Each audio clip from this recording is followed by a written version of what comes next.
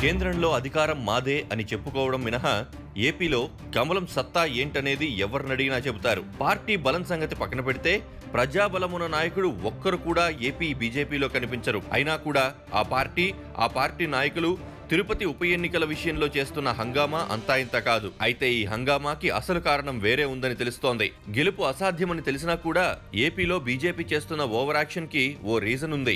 కనీసం ఏపీ రాజకీయాల్లో బీజేపీ అనే పార్టీ ఉందని పేరు తెచ్చుకోవడం ఇప్పుడు వారికి అత్యవసరం.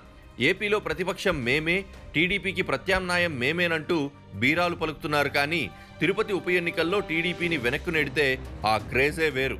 అందుకే ఈ ఉప ఎన్నికను అడ్డుపెట్టుకుని ఏపీలో హైప్ తెచ్చుకోవాలని చూస్తోంది బీజేపీ. ఘోర పరాభవం పాలైన టీడీపీ తరపున ఇరవై మూడు మంది ఎమ్మెల్యేలు గెలిచారు. అందరూ వెళ్ళిపోయినా అచ్చెన్న బుచ్చయ్య లాంటి వాళ్ళు బాబుతో పాటే ఉన్నారనే నమ్మకం ఉంది. ఇక జనసేన కూడా రెండు వేల పంతొమ్మిది అసెంబ్లీ ఎన్నికల్లో బోని కొట్టింది. ఆ ఒక్కరిని నిలుపుకోవడం పవన్ కళ్యాణ్కి సాధ్యపడలేదనుకోండి అది వేరే విషయం. మరి బీజేపీ ఏంటనేది తిరుపతి ఉప ఎన్నికల్లో తేలిపోనుంది.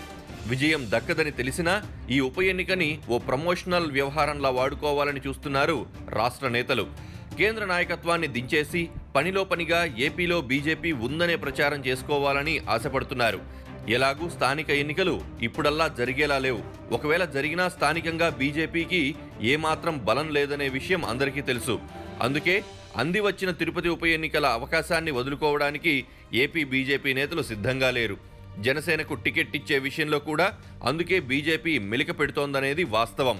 ఏపీలో బీజేపీ కూడా ఉంది అనుకోవాలంటే తిరుపతి ఉప ఎన్నికల్లో పోటీ చేయడం మినహా వారికి మరో ఆప్షన్ లేదు. ఓటమి తెలిసి కూడా బీజేపీ చేస్తున్న ఓవర్ యాక్షన్కి అదే అసలు కారణం.